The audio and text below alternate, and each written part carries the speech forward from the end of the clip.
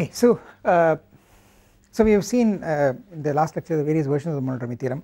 Now I just want to discuss uh, uh the application of all this to uh, study the behavior of uh, an analytic function at a critical point, which we had done, which we had begun a few lectures before. I started discussing mono, discussing analytic continuation and the monodromy theorem. I want to conclude that now. So you know our situation was like this we had we had uh, uh, so let me draw the diagrams so that and, and remind you of what we what we have already seen. So you know we had some uh, uh, we had a point uh, z not in the on the complex plane? And well and you are looking of course this point is in a domain.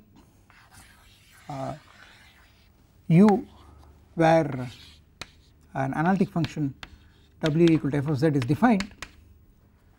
And well uh, the analytic function f of z uh, takes z naught to the value w naught. So well this is the this is this is the complex plane this is the z plane. And uh, and the target plane is of course the omega plane or the w plane. So this is the complex plane which is the w plane. And the point z naught goes to w naught which is f of z naught okay? And what we have assumed is that uh, we are assuming that uh, uh, uh z of course you know let me recall uh, everything depends on uh, the vanishing or otherwise of the derivative of f at z naught okay? If f dash the derivative of f at z naught is not equal to 0 then the inverse function theorem will tell you that f is locally 1 to 1 okay. So it means that sufficiently small disk surrounding z naught will be mapped to uh, something that looks conformally like a sufficiently small disk at w naught okay. So uh, what you can ex expect is a sufficiently small disk will look like uh, something that is conformally uh, equivalent to a disk okay.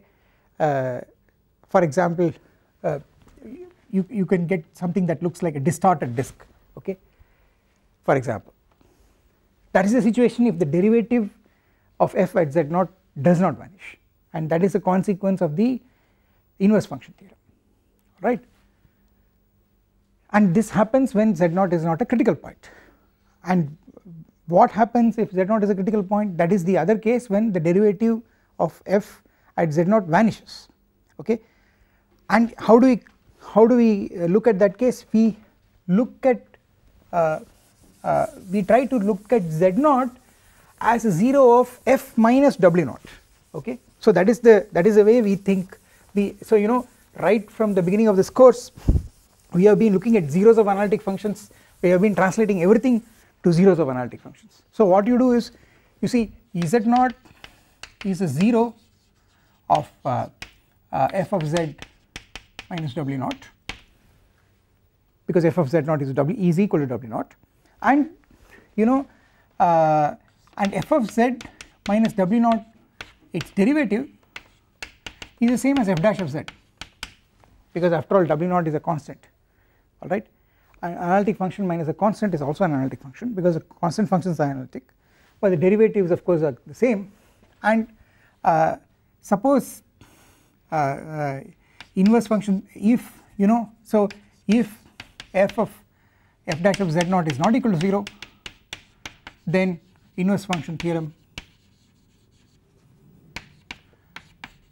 function theorem theorem implies f is an isomorphism on a small disk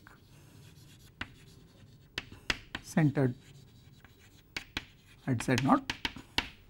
This is the inverse function I mean this is the inverse function theorem with uh, uh, applied together with the so called uh, open mapping theorem also. See inverse function theorem will tell you that f is at in a neighbourhood of z0 which is not a critical point that is the derivative does not vanish. F can be inverted. Okay? Open mapping theorem will tell you the image of that neighbourhood is also an, an, a neighbourhood and open mapping uh, that the fact that it is a one to one open mapping will tell you that the inverse is also continuous. The inverse function theorem will tell you the inverse is actually holomorphic. So it is a holomorphic isomorphism. So this is the nice picture that you get the derivative does not vanish at z0 which is a situation when z0 is not a critical point okay but we are want to look at the situation when z0 is a critical point. So if z0 is a critical point of order m minus 1 okay so so this this is uh, the reason I took m we take m minus 1 there is because then z0 will become a 0 of order m of f of z minus w naught. Is it not is 0 of order m of f of z minus w naught. Okay? Mind you in this case if the derivative is not 0 then z naught becomes a simple 0 of f of z minus w naught if f dash of z naught is not 0 then z naught becomes a simple 0 of f of z minus w naught okay? But if f dash of z naught is equal to 0 that means z naught is a critical point. And if it is 0 uh, if it is a critical point of order m minus 1 then z naught is a 0 of order m of f minus w naught okay? This is how the uh, uh, definitions are arranged.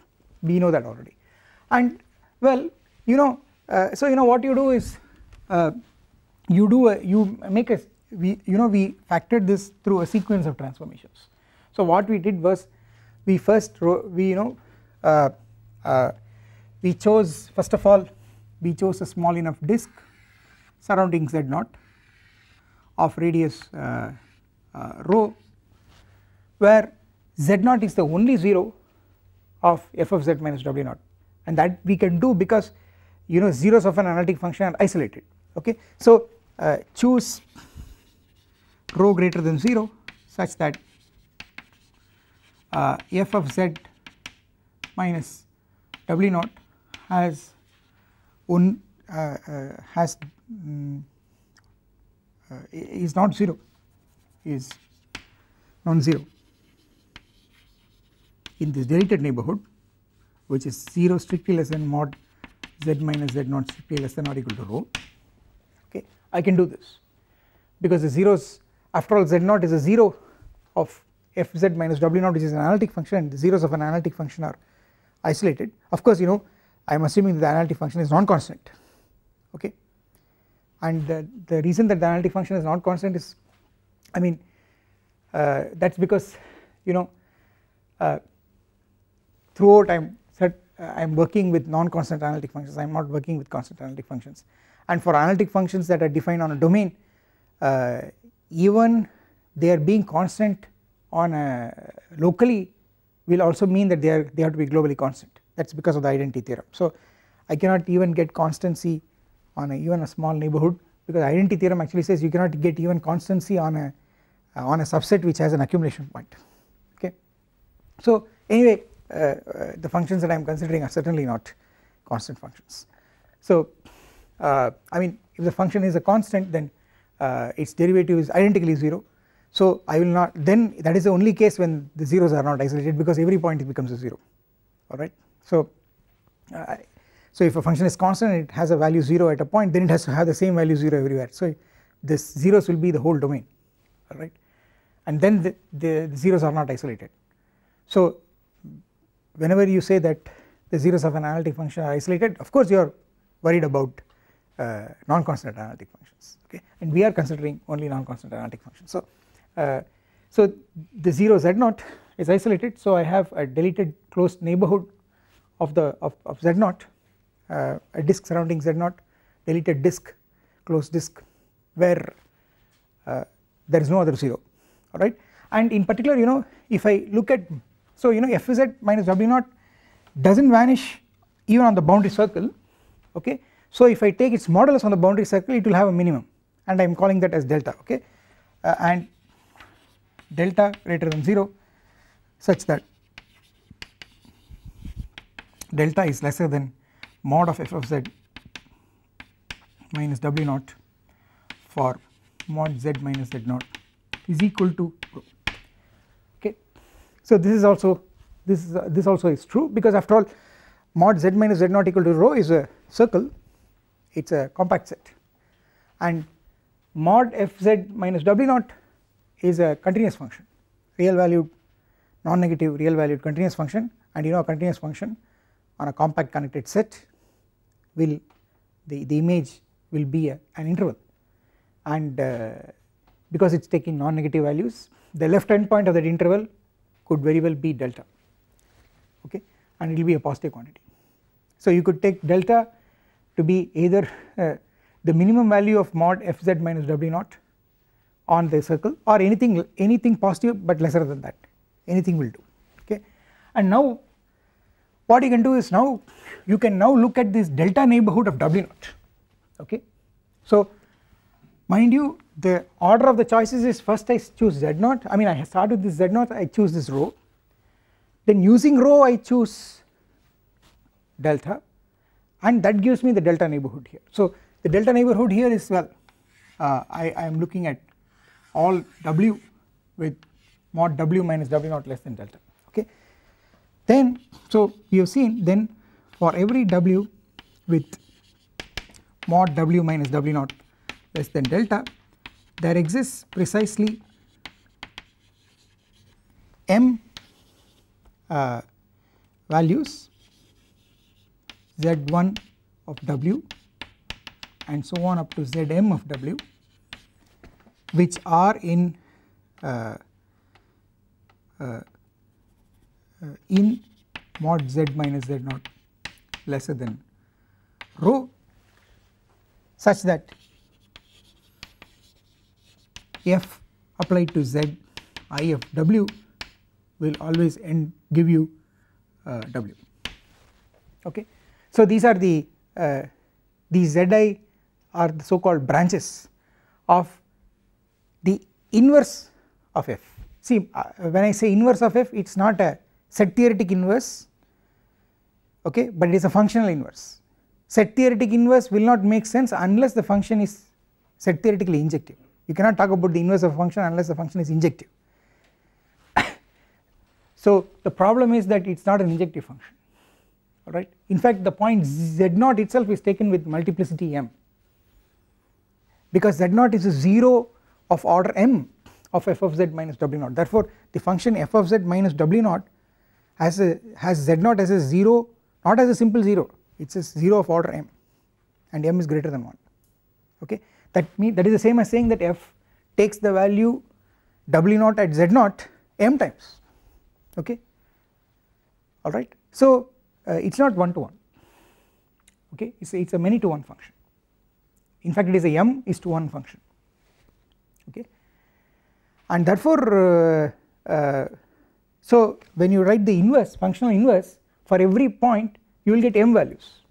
So if you start with the point w here then you know if I try to go back I'll I'll end up with m points which are the various zi of m z1 of m z2 of m I am sorry z1 of w z2 of w and so on up to zm of w. I will get m of them. Of course the m of them some of them could coincide but the point is if I count them with multiplicities uh, they have to be distinct. And in fact uh, the truth is so long as w is different from w naught they all will be distinct. The truth is they will be distinct if, if w is different from w naught. Okay?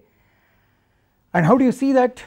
Uh, uh because you see that because you use branches of the logarithm. So what you do is well you know you have uh, uh, uh, so if you recall what we did in that in our earlier discussion we you know f is we started with the fact that uh, uh, z naught is a 0 of order m of f z minus w naught and then you factored out that uh, the term z minus z naught power m from the Taylor expansion of fz minus w naught centered at z naught okay. So what you you write uh, uh, if you take the Taylor expansion that is a power series expansion of fz minus w naught at z naught what you will get is fz minus w naught is z minus z naught to the power of m into some h of z. You will get something like this. With with you know h analytic at z naught and uh, h of z naught is not 0. So this just happens. I mean this is just what happens when uh, I mean this is just a reflection of the fact that z naught is a 0 of order m of f of z minus w naught. Okay. So uh, so you can factor out the z minus z naught to the power of m out. We have seen this already. That is because of vanishing of the corresponding Taylor the first so many Taylor coefficients right?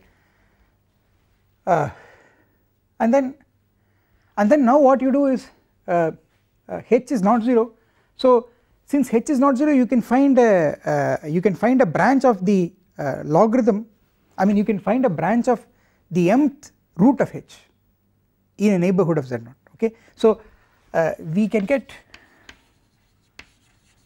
branches of uh, uh, so in fact I should say uh, so you know yeah so before I write down let me let me let me tell you what we want to do see we want to take mth root on this side.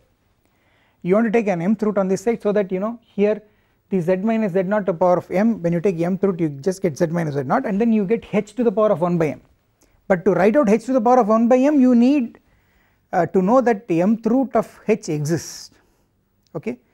And the mth root of h exists uh, that will happen uh, in a small neighborhood about z naught because h does not vanish. See h does not vanish at z naught and h is analytic by continuity it will not vanish in a small disk surrounding uh, z naught. Okay so I have a small disk surrounding z naught where h does not vanish. In fact h cannot vanish in this whole disk right? Because if h vanished on that disk then fz will also vanish on that disk but I mean fz minus w naught will also vanish on that disk but I know the only place where it vanishes on that disk is at the center. Okay so h really cannot vanish uh, anywhere. Alright so h is non-zero on that disk. And the disk is simply connected. And I told you that whenever you have a non-zero analytic function uh, an analytic function that never vanishes on a simply connected domain there is always a logarithm. There is a there is a there is an analytic branch of the logarithm of that analytic function defined on that domain. Okay. So I have a branch of log h. And once I have a branch of log h it is very easy to define h power 1 by m because it is just e power 1 by m log h h power 1 by m is e power 1 by m log h. So just to define h power 1 by m all I need is an analytic branch of the logarithm of h. And that analytic branch of the logarithm of h does exist in this neighborhood because it is simply connected and h does not vanish. Okay. So let me write that. Uh, since h does not vanish on uh, mod z minus z naught less than rho which is simply connected.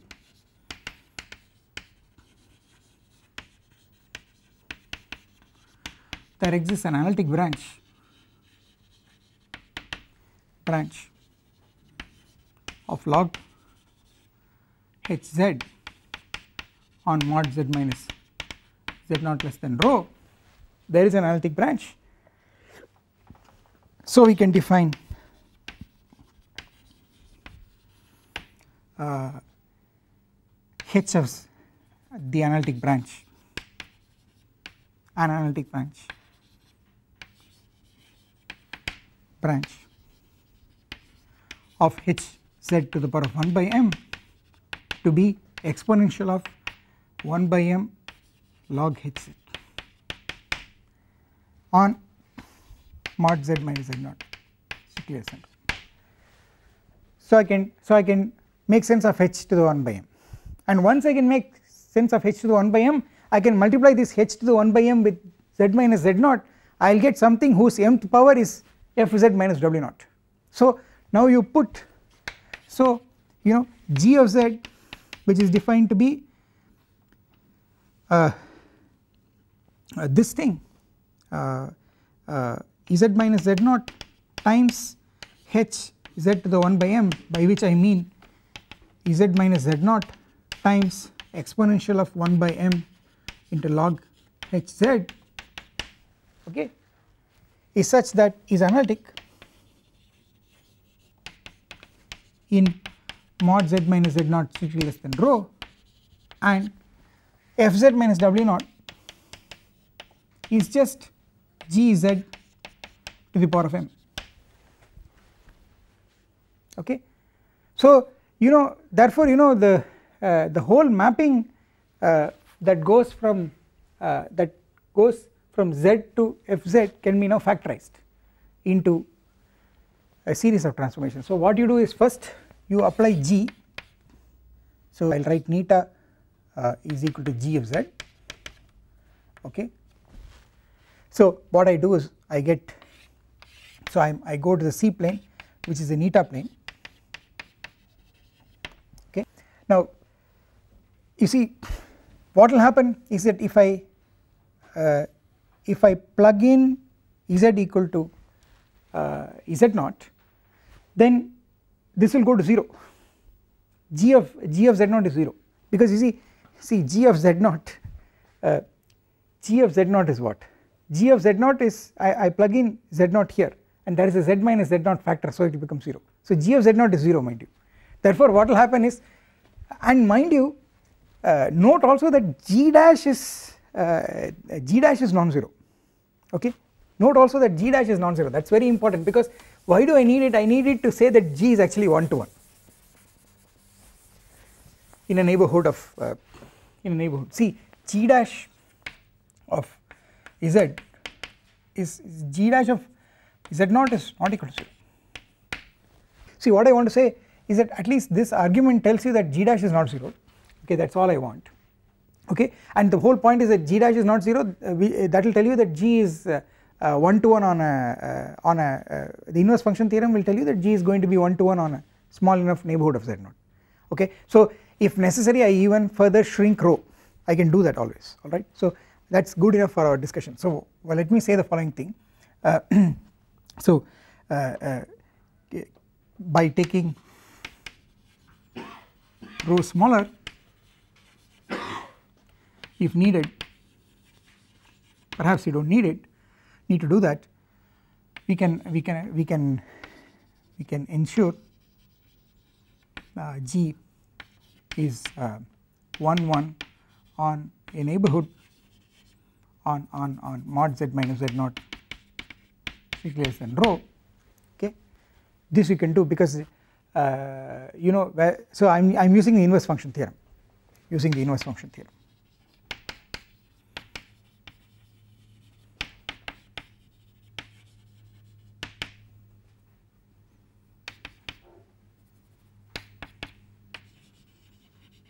the inverse function theorem says that whenever you have an analytic function which is whose derivative does not vanish at a point then there is a sufficiently small disk surrounding that point where the analytic function is 1 to 1 okay.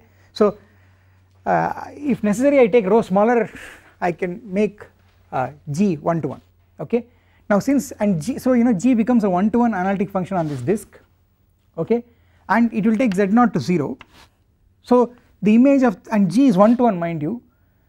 So it is a holomorphic isomorphism because I told you a one to one analytic function is a is an isomorphism onto its image. The inverse function is also analytic. It is a holomorphic isomorphism. So if I take the image of this this disk I will get some disk like neighborhood of the origin. Okay? Z naught will go to the origin. Alright. So the image of this disk will be another disk like neighborhood of the origin which you can think of a, as a distorted disk okay? So this is the effect of applying G. Then now what you do is now from here to here you you apply uh, uh, uh, you you you take the map zeta equal to neta to the power of m. Okay? When you and you know what this map is. This is the power map. This this power map will you know uh, this will take you onto uh, uh, it, will map this onto a again a disk like neighborhood. Alright and uh, uh, and you know it is a m is to 1 map. You know that. Okay? So uh, so you, the combination of these two will be z going to g power mz okay? But what is g power mz g power mz is just fz minus w naught. So when you go from here to here you have already got z going to fz minus w naught. So if you want further to get z going to fz I have to add w naught. So that is this final map. So this map is zeta going to zeta plus w naught. This is the final map. It is a translation so this is of course this is 0 0 goes to 0 and now the, now the 0 is going to go to w naught okay? So finally this is how the map factors. This is how the map w equal to fz factors right?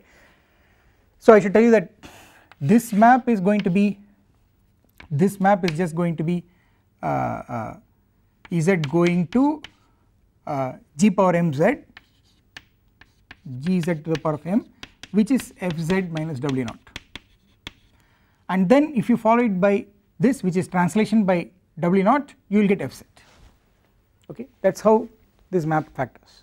Alright. Now the fact is that uh, I can write out the I can write out how I got from this starting from this w how I got these m values. Okay? How did we get these m values?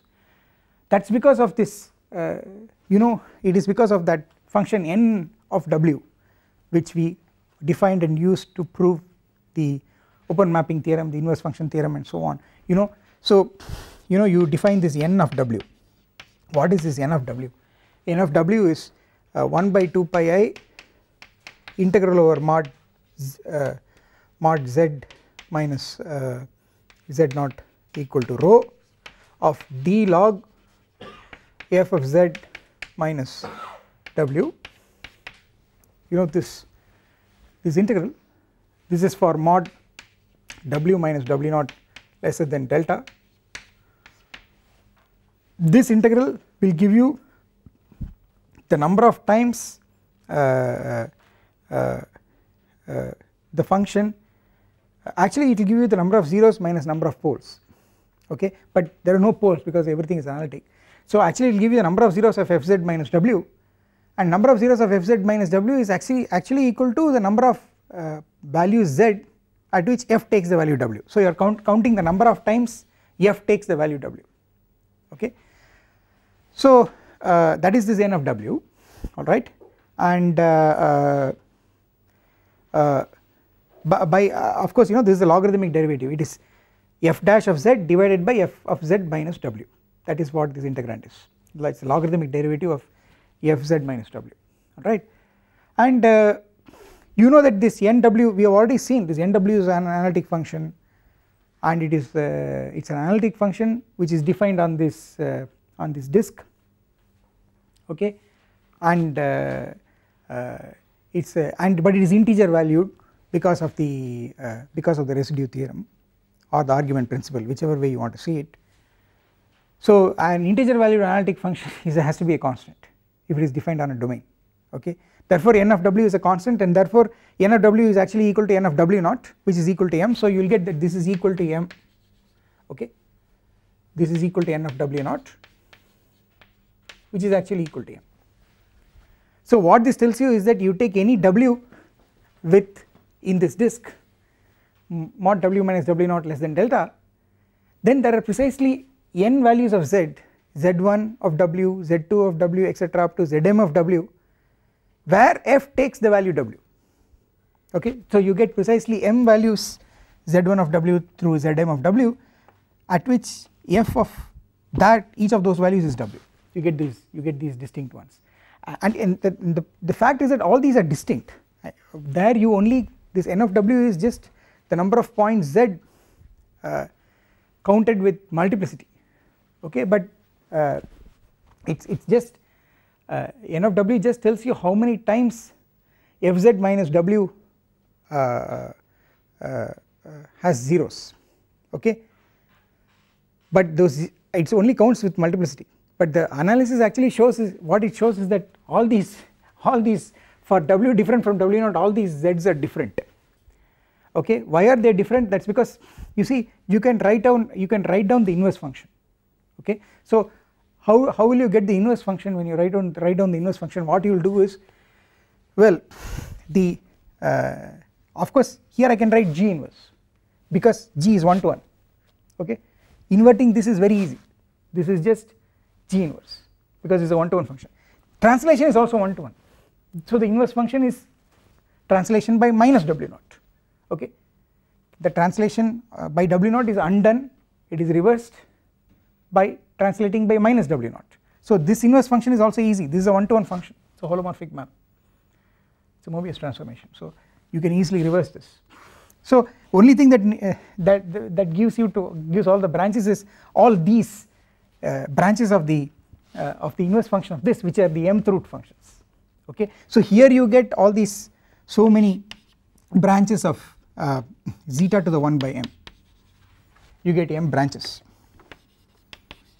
now what you do is that uh, you combine this with each of these m branches and then you follow by g inverse you will get all these m branches which are which which are given by w going to z1 w going to z2 w etc okay?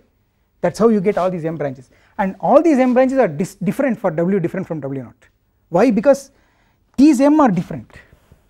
The m branches of the m the, the m branches of the mth root function are all different because there are m different mth roots for any non-zero complex number. That is the reason why for w not equal to w naught the zi's you get the zi of w you get they are all different. Okay? So you get exactly m of those values for w not equal to w naught. Of course when w is equal to w naught you get z naught. Okay?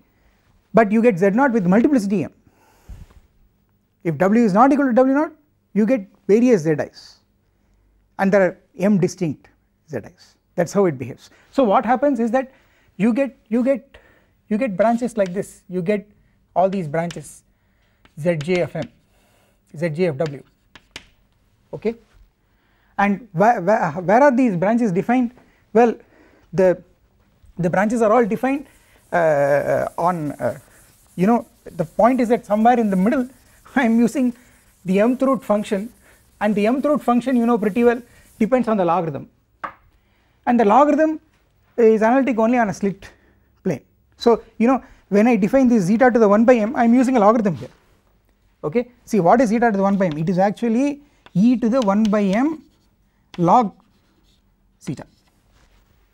And when I do this I get m branches. What are those m branches? Well I will get e to the 1 by m log I will take principal logarithm zeta and then I will get plus 2 n pi i. These are the various branches.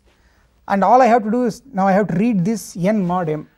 So I will just have to put n equal to uh, 1 etc up to m. Either I start I do from 1 to m or I start from 0 to n or, or or n is equal to 0 to m minus 1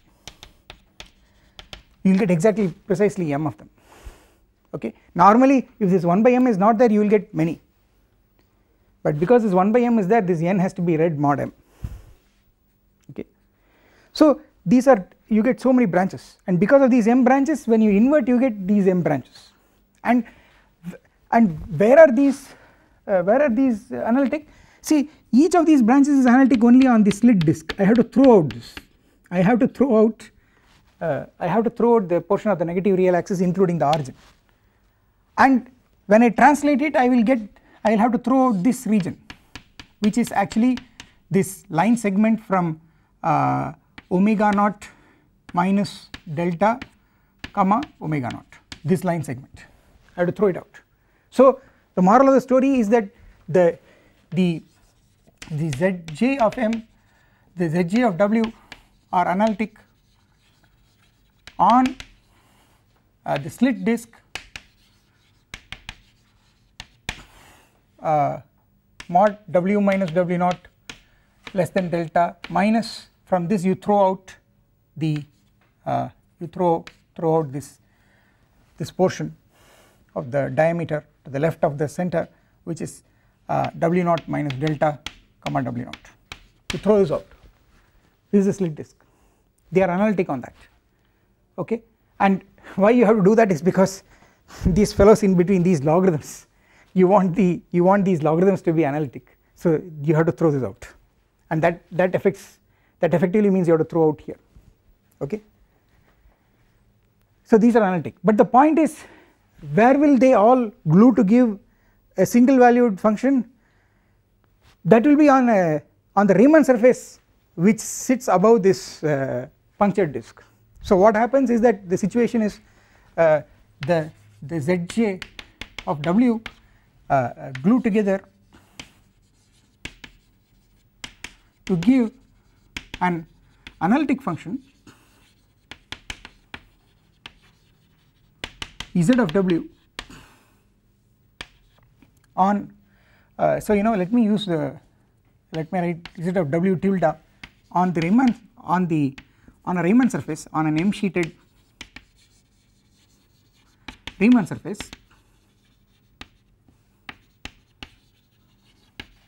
over this punctured disk. So you know situation is like this. I have this punctured disk. This is W naught. This is this is delta. Okay. On this I have this Riemann surface. You see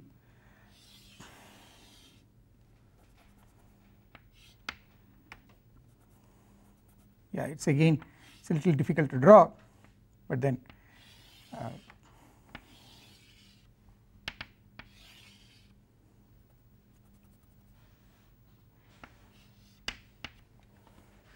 okay I have this M sheeted Riemann surface 1 2 etc up to M. I have this M sheeted Riemann surface okay? And on on sheet so I have this I have this function Ez of w tilde where you know w tilde is a point on this which goes down to a point w here okay? Each w has precisely m inverse images. This is a this is a this is a cover. This is a this is a covering map okay? This is a Riemann surface. How do I get this Riemann surface? Is by taking m copies of this slit disk and then you know uh, joining them together so that all the uh, I am actually doing actually what I am doing is I am constructing the Riemann surface of this logarithm. I mean I am actually constructing the Riemann surface of zeta to the 1 by m and simply translating it here. I am not doing anything else. Okay. So this is the this is that Riemann surface. On this I have this function z of w tilde. Okay. Now that function will go back to uh, the thing that I started with. Namely it will go to the it will go to that disk centered at z naught radius uh, uh, rho I think here radius rho and what will happen is that you know if I start with w I will get so many points. W1 tilde w2 tilde w3 tilde and so on. The last sheet I will get wm tilde.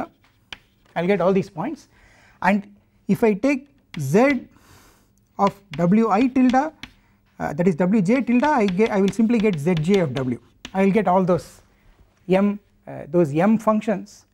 They will all give me uh, uh, if I go to different pre images of this point there is this projection map which is a covering map. Every point has m pre images because after all I have taken m copies of the slit disk and you know I have I have cut and paste the negative real axis carefully okay. So every point will have m pre-images and when I apply z to each pre-image I will get the corresponding zj which will be the z, z restricted to each sheet is the zj. Okay? Z restricted to the first sheet is z1 z restricted to the second sheet is z2 this way I get all the z's. But the beautiful thing is when I go up this all the zj's they become they all glued together to give a single analytic function and that uh, they give first of all give rise to a single function and the point is that function is analytic that is a beautiful thing. Each zj if I started from here it is not analytic because I will have to throw out this I have to throw out this slit with because along along that slit it is it cannot be defined so that it becomes analytic but if I go to the Riemann surface I am able to I am I am able to cross this because the reason is because as I go from one sheet to the next sheet I am doing analytic continuation I am going from one branch to the next branch by analytic continuation therefore uh, I am actually getting one function on the Riemann surface above. So here is where I am using the fact that you know every Zj if I even though every Zj is not analytic on this on this slit I can analytically continue it to the next Zj across that uh, across that uh, uh, slit. And that is the reason why on the on above I get a continuously I get one single analytic function. By because I, I there is no obstruction to analytic continuation along that uh, along that uh, slit. That is why all of them glue to give you an analytic function. Now the point is that these the story is we have seen so much already. The, sto the story is that all these Zj's they are all algebraic. So you know so this is what I wanted to say. uh, uh, uh so you know in fact I told you that if you write z minus z1 w you take the product up to z minus z uh, m w okay? If I take this product then this product will be just uh, if I write it out I will get the elementary symmetric functions in the zi's I will get a polynomial monic polynomial in z of degree m with coefficients elementary symmetric functions in the zi's which is what I explained. So I will get I will simply get z power m so I want to end by saying the following thing these a sub k's they are all the symmetric functions in the zi's okay. The point I want to make is that these a sub k's you see the zi each individual zi is not analytic at that slit okay each individual zi is not analytic at that slit. So if you take any elementary symmetric function of these zi's which is one of these ak's you do not expect it to be analytic on that slit but the fact is it is. And what is the reason? The reason is you see if you take a point here okay and go around once across you cross this uh, slit if you go around once what will happen is the zi's will get permuted okay?